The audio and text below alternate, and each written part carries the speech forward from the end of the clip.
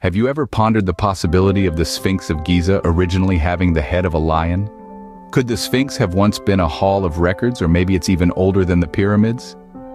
These are the captivating mysteries that keep researchers, historians, and the curious hooked. Sphinx is a grand monument carved from the bedrock of the Giza Plateau with a human head and a leonine body. But some suggest that the head could be a later modification.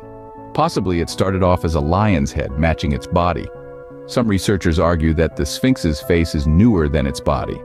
According to them, the face we observe today is not the original face of the Sphinx. Some propose that the original face of the Sphinx was that of a lion.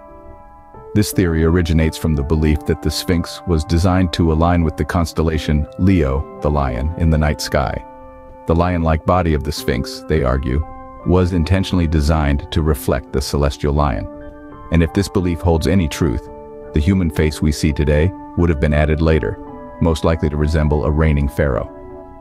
But regardless of its initial form, the intriguing features of the Sphinx are nothing short of mesmerizing.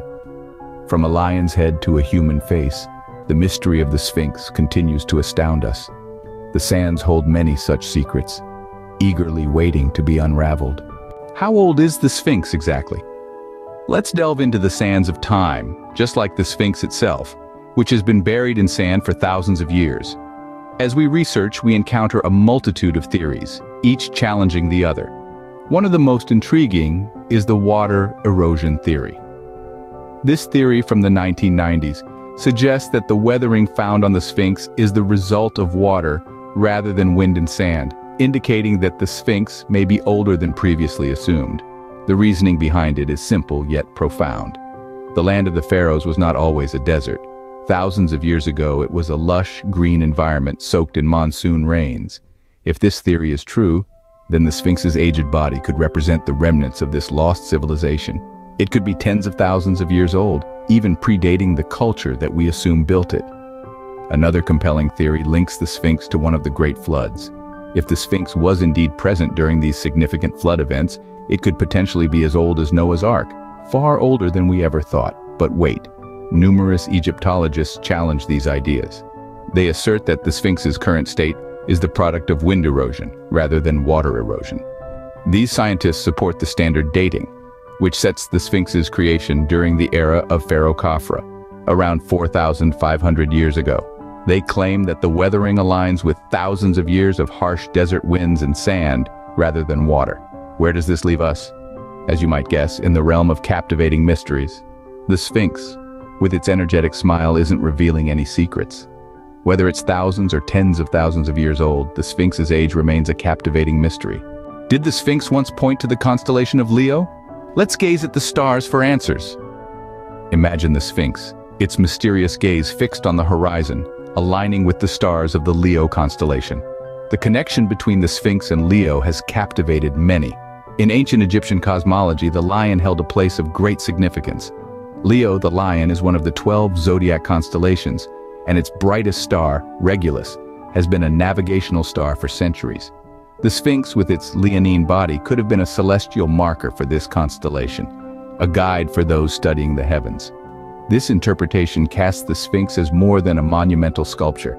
It suggests that the Sphinx was part of an intricate cosmic map, a key to understanding the celestial cycles and the passage of time. This perspective transforms the Sphinx from a terrestrial marvel to a cosmic one. The Sphinx, it seems, might have been more than just a terrestrial wonder. The Sphinx of Giza stands alone. A unique monument unlike the usual pairings of the Sphinx isn't unique to Egypt. These luminous creatures have been depicted in different forms and contexts around the world, often as a pair.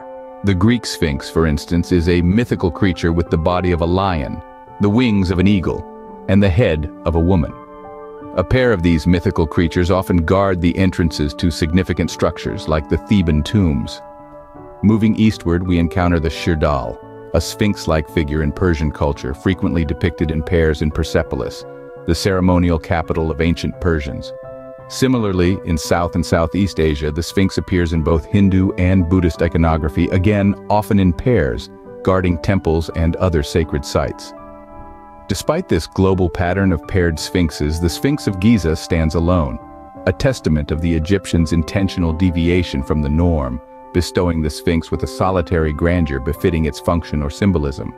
The Sphinx continues to intrigue us with its worldwide presence from Egypt to Greece. No matter where we find them or how they're portrayed, these mythical creatures captivate us with their silent strength and enigmatic expressions, reminding us of the enduring allure of ancient mysteries. What's beneath the Sphinx, and why are we not allowed to see it? This question has sparked countless debates and endless speculations. We're diving into the labyrinth of theories that surround the Sphinx's intriguing underside. The Sphinx, in all its majesty, sits atop an elusive underground world. Some theories suggest the existence of a legendary hall of records, a repository of ancient wisdom hidden deep beneath its paws. Others propose that the Sphinx is a gateway, a portal to another dimension. One person, Zahi Hawass, the former Minister of State for Antiquities Affairs in Egypt, has been a significant figure in the Sphinx's narrative. He has steadfastly maintained that there's nothing to discover beneath the Sphinx, dismissing the theories as mere fantasies. Yet the Sphinx, a symbol of knowledge and wisdom, may harbor beneath it, a world waiting to be discovered. The Sphinx's secrets seem to extend beneath its grandeur, locked away from prying eyes. Who knows what truths we could unearth if ever we're given the chance to explore the Sphinx's hidden depths? Could the Sphinx and other parts of the Giza complex be a part of a vast, sacred machine designed to harness the power of the sun? This intriguing question has been brought to life by Mark Lehner's theory. Lehner suggests that the iconic Sphinx of Giza, along with other elements of the complex, was deliberately constructed to sustain the earthly and divine order. Lehner, a respected archaeologist, posits that the ancient Egyptians' understanding of the sun's movements and their faith in sun worship played a significant role in shaping the Sphinx and the surrounding structures. The idea is that these structures, meticulously aligned, could have been used as a form of an early solar calendar, dictating the rhythms of the sacred and agricultural activities. The transformation of this divine machine into the majestic monument we see today would have taken a considerable amount of effort. The ancient Egyptians would have had to work meticulously, carving intricate details to create the Sphinx's distinctive features and ensuring perfect alignment of all structures. Lehner's theory adds another layer to the mystery of the Sphinx. Solar alignment or coincidence, human ingenuity or divine inspiration, the Sphinx's origins continue to be a subject of passionate debate, and that's what makes it such an enduringly fascinating subject. The more we learn, the more questions we have.